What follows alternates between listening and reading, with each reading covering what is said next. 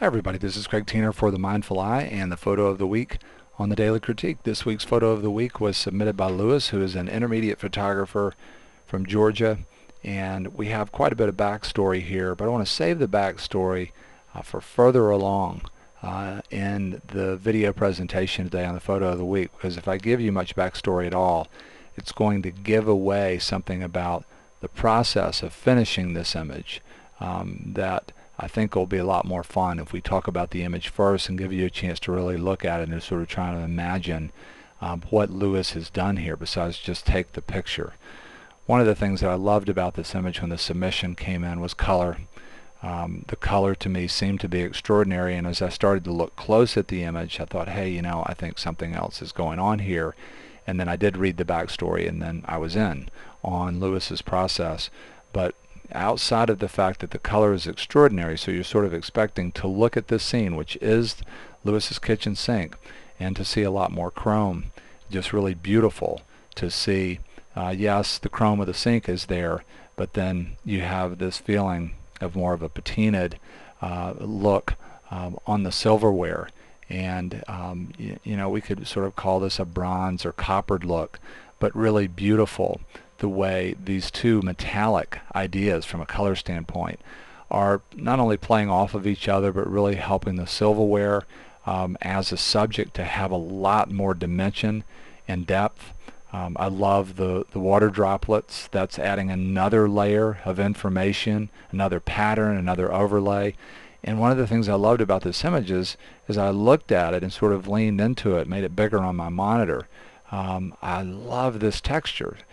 So I started to really be taken in first by the color and then I started really be taken in by all these different levels of information in a subject matter uh, that you know you would think of being pretty flat just shooting straight into the bottom um, of your sink. And then I uh, started to really be taken with these other colors just these touches of, of pastels and, and, uh, and brighter colors um, that are playing now with uh, the metallic colors and I love how some of those colors like this pastel blue even comes up in some places uh, on the silverware. The other thing that I love about this image is I love the fact that the composition looks off-handed and there's quite a bit of tension in this composition for me. I almost feel like I want to reach in and rearrange this a little bit to sort of make it perfect, particularly this utensil here as it runs along the edge and some of the negative space starts to sort of uh, open up and seem a little bit overwhelming and flatten out, but then you have the overlay of the color and the texture. This is an image that I personally think would either work either very small really well, uh, very small, smaller than you're seeing now, which is unfortunate about the presentation today. This size to me is not the optimum size for this. I'd like to see it either very small or huge, wall size, something very, very big. I, I just have that feeling um, about this image. Um, last thing before we before I let you into the backstory that I love about this is just this concept of uh, you know every picture that we take goes through one filter even if you don't own a filter. It goes through the filter of what we believe to be true about the creative process as it relates to our photography. And um, one of the biggest limiting beliefs that photographers have in my opinion is this idea that their photography is connected to places that are extraordinary. And um, you know how many times are we photographing the bottom of our kitchen sink um, not enough. We're not photographing the things that are available to us all the time uh, enough. And the thing about looking at these things that are ordinary um, is it, it helps us um, to have a better life. It helps us to appreciate just what we're experiencing all the time instead of living for the vacation or living for the workshop or whatever it might be that we think is going to allow us to somehow engage. It also helps us to see. It just helps us to become better at seeing. When we um, start to look at things that may be mundane or ordinary and we think about things that we might do as artists relative to those things to give them just another layer of information. And maybe it is just as simple as framing uh, in the right way. In this case, Lewis has really had a lot of fun with finishing the photograph. And so I just want to say something about that. Um, you know, one of the limiting beliefs that photographers have is that it all has to be done in the camera. And I'm not saying that there's anything wrong with that approach. Uh, that's fine if, if that's sort of a place that you're coming from. But the reality is that really doesn't have much at all to do with photography as an art form or medium.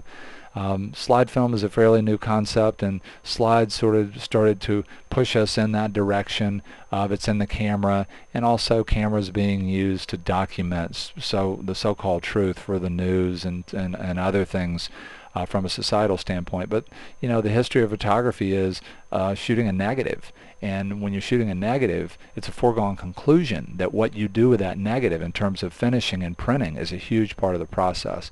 So one of the really fun things about the image today is that Lewis shot this on an old film camera, one of my favorite cameras I've ever owned, the Nikon F3. This is the first professional camera I ever owned.